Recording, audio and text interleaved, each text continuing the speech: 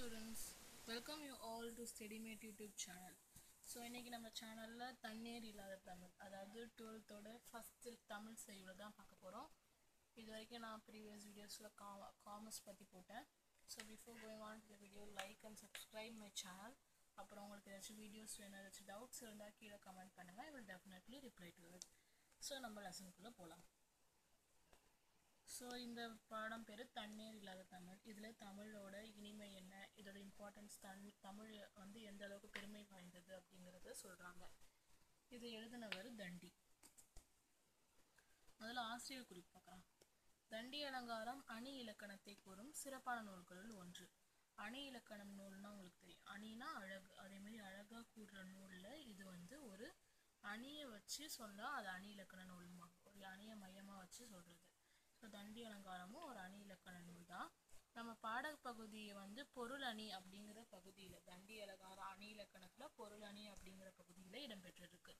காவியர்த்தம் அப்படிங்கிற வடமொழி இலக்கண நூலை தழுவி அதாவது அதை வச்சு தண்டி எழுதுனது தான் இந்த தண்டி அலங்காரம். லைக் அவர் வந்து டிரான்ஸ்லேட் பண்ணியிருப்பாரு இல்லை அந்த கருத்தை எடுத்திருப்பாரு இவர் விஷயம் இவர் விஷயத்தில் எழுதியிருப்பார் இவரோட காலம் பன்னிரெண்டாம் நூற்றாண்டு.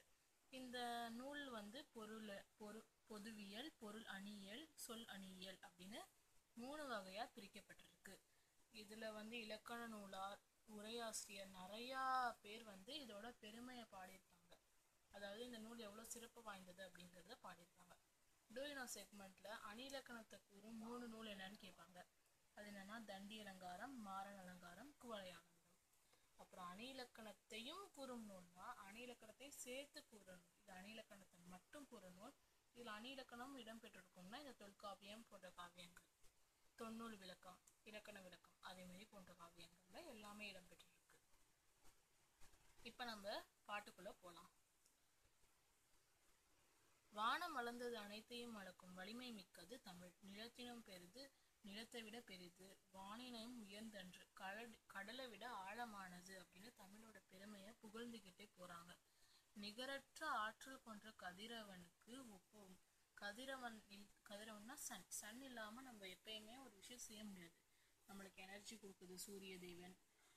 எல்லாமே நம்மளுக்கு கிடைக்கிறது சன்னால தான் அந்த சன் அந்த சூரிய தேவனுக்கு ஒப்பானவர் என்ன ஒப்பானது என்னன்னா தமிழ். அதையும் தாண்டி சிறப்புடையது தமிழ் அப்படின்னு சொல்கிறாங்க இந்த பாட்டில். ஓங்களிடை வந்து உயர்ந்தோர் தொழ விளங்கி ஏங்கொழி நீர் ஞாழத்து இருளகற்றும் ஆங்கவற்றுள் நின்னேர் தனியாழ் வெண்கதிர் ஒன்று ஏனையது தண்ணீர் இல்லாத தமிழ். ஓங்களிடை வந்து அப்படின்னா ஓங்களிடை அப்படிங்கிறது என்னன்னா இதில் வந்து ரெண்டு விஷயத்த கம்பேர் பண்ணி சொல்கிறாங்க அதாவது சன் சூரிய சூரியனையும் தமிழையும் ஒப்புப்படுத்தி சொல்கிறாங்க இந்த விஷயத்தில். இப்போ என்ன பார்க்க போறோம்னா ஓங்களிடை வந்து அப்படின்னா மலைகளுக்கிடையே தோன்றி அப்படின்னு அர்த்தம். ஓகேவா ஓங்களிடை வந்துன்னா மலைகளுக்கு இடையே தோன்றி. உயர்ந்தோர் தொழ விளங்கி அப்படின்னா உயர்ந்தோர்னா ம போற்றக்கூடிய பெரியோர் சான்றோர்களால் வணங்கப்பட்டுவது அப்படிதான் உயர்ந்தோர் தொழ விளங்கி. ஏங்கொழி நீர் அப்படின்னா கடலால் சூழப்பட்ட உலகம். ஞாழத்து ஏங்கொழி நீர்னா எத்திசைகளிலும் கடலால் சூழப்பட்ட உலகம். எங்கொழி திசைகளிலும் கடலால் சூழப்பட்டது என்ன உலகம்? அதுல இருளை அகற்றும். இருள் அகற்றும்னா இருள்னா ஏதோ சில தப்பான விஷயங்கள் துன்பங்கள் எதை வேணா எடுத்துக்கலாம். அறியாமை எப்படி வேணாலும் எடுத்துக்கலாம் இந்த லைன்ல இப்ப இது மக்களால் போற்றப்பட்டு மலைகளுக்கிடையே தோன்றி கடலால் சூழப்பட்ட இவ்வுலகத்தின் இருள் அகற்றும். இது மூணு இது இதுதான் இந்த இருக்கிற மூணு காமனான விஷயம். இந்த விஷயத்தை வச்சு நம்ம சன் என்ன பண்ணுது? சூரிய தேவன் என்ன பண்ணுறாரு அப்புறம் தமிழ் எப்படி இருக்கு அப்படின்றத பார்க்கணும் இப்போ வந்து உங்களிடையே வந்து மலைகளுக்கு இடையே தோன்றி. சூரிய தே சூரியன் தெரியும் உங்களுக்கு. ரெண்டு மலைகளுக்கு இடையிலேருந்து வருவாங்க. எப்பயுமே பிக்சர் அப்படிதான் இருக்கும். இப்போ வந்து தமிழ் எங்கேருந்து தோன்றுச்சுன்னு கேட்டால் பொதிகை மலையில தோன்றியதுன்னு நிறைய பேர் சொல்லுவாங்க. அதனால ரெண்டு காமன் திங்ஸ் அது. உயர்ந்தோர் தொலை விளங்கி. எப்பயுமே சான்றோர்கள் தமிழ் மொழியை போற்றுவாங்க. அதே போல சூரியனையும் நிறைய சான்றோர்கள் போற்றுவாங்க. ஏங்கொழி நீர் ஞாழத்து இருளகற்றும் சூரியன் என்ன பண்ணுது? கடலால் சூழப்பட்ட இவ்வுலகத்தோட இருள் அகற்றுது காலையில நம்மளுக்கு ஒளி தருது. அதே மாதிரி தமிழ் என்ன பண்ணுது? ஞாழம் அப்படிங்கிறது இந்த இடத்துல தமிழுக்கு உலகத்தை குறிக்கல மக்களை குறிக்குது. கடலால் சூழப்பட்ட இவ்வுலகத்தில் வாழும் மக்களோட அறியாமை அதாவது ஏதாச்சும் தெரியாத விஷயங்களை போக்குறதுக்கு தமிழ் ரொம்ப உதவுது. ஸோ இதுதான் இந்த இவங்க விஷயத்துல இருக்கிற மூணு காமன் திங்ஸ் தமிழுக்கும் கதிரவனுக்கும். அதில் ஆங்கவற்றுள் அதற்குள் அதில் எது அப்படின்னா மின்னேர் தனியாழி வெண்கதிர் ஒன்று. அது ரெண்டுத்தில் ஆங்கவற்றுள்னா அதுக்குள்ள மின்னேர் தனியாழி வெண்கதிர் ஒன்று. ஒன்று என்னன்னா தனக்கு தனியாழி வெங்கதிர் வெங்கதிர்னா சூரியன். ஏனையது இன்னொன்னு என்னன்னா தன்னேர் இல்லாத தமிழ்னா தனக்கு நிகர் இல்லாத தமிழ் அப்படின்னு சொல்றாங்க.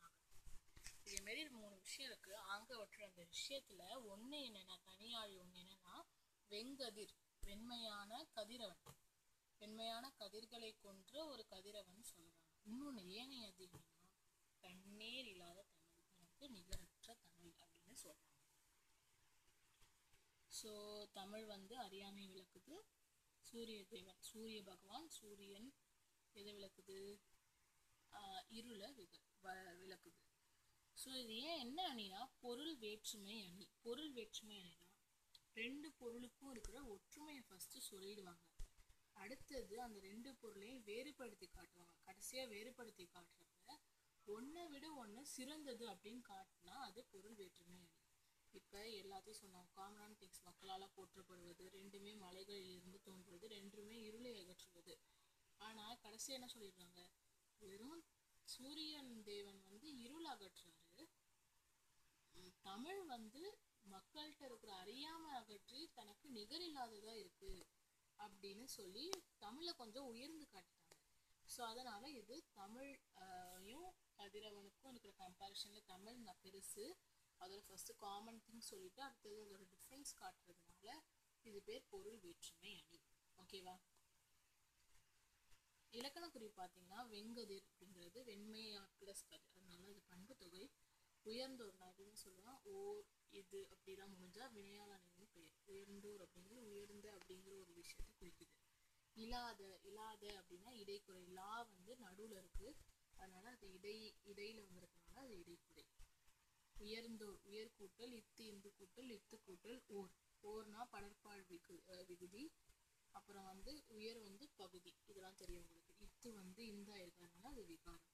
விலங்கு கூட்டல் ஈ விலங்கி. இதுல ரெண்டு தான். பகுதி வினையற்ற விகுதி ஈல முடியறதுனால அது வினையச்சம் வந்து அப்படின்னா வான்னு போட்டுக்கணும். பகுதி எப்பயுமே ஒரு ஏவலா இருக்கணும். ஒரு கூப்பிடுற மாதிரி இருக்கும் ஸோ அதனால பகுதி இவ்வு வந்து குறுகி இருக்கு அதனால அது விகாரம். இத்து இந்து சந்தி தெரியும் உங்களுக்கு விகாரம். அப்புறம் இறந்த காயிடுது அப்புறம் ஊழ முடியறதுனால வினையற்ற விகுதி தனி ஆழி தனி கூட்டல் ஆழி. ஈ வந்து ஐ வழி ஈ ஈ வந்தா ஐல வந்து வரப்ப ஈ வரும். அப்போ வந்து ஈ வந்துட்டு உடம்படுமை. அப்புறம் உடல் மேல் உயிர் வந்து ஒன்றிட்டு. வெம்மை பஸ் கதிர் வெங்கதிர் அப்ப ஈறு புதல் மை போயிடும். அப்புறம் வந்து மெய் வந்து திரிஞ்சிடறனால கக்கு இணையான மெய் வந்து இங்கு. அதனால அது வந்துருது. ஆங்கு கூட்டல் அவற்றுள் ஆங்கவற்றுள். அங்க கூ அங்க வந்து உயிரெழுத்து வந்திருக்கு. அப்ப வந்து கூல நிலைமொழியில இருக்கிற ஊ வந்து போயிடும். அப்ப இக்கு இருக்கு.